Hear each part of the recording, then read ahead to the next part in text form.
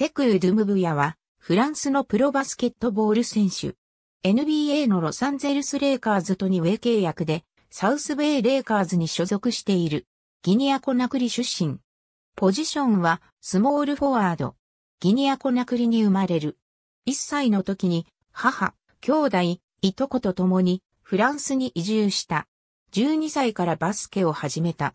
2016年にフランスの U-18 メンバーに選出され、チームのヨーロッパ選手権優勝に貢献した。その活躍が認められ、2016年8月26日に LNB の B リーグに所属するボアチェバスケット86と契約した。その際に3年以内に NBA 選手になりたいという意向を表明した。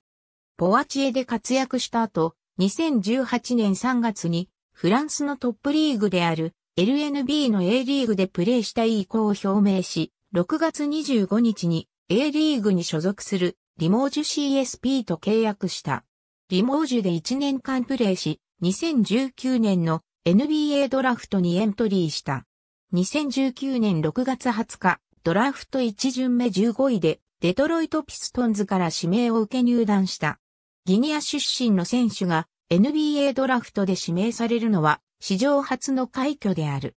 2021年9月4日にデアンドレ・ジョーダンと4つのドラフト2巡目指名権とのトレードでジャリル・オカフォーと共にブルックリンネッツへと移籍した。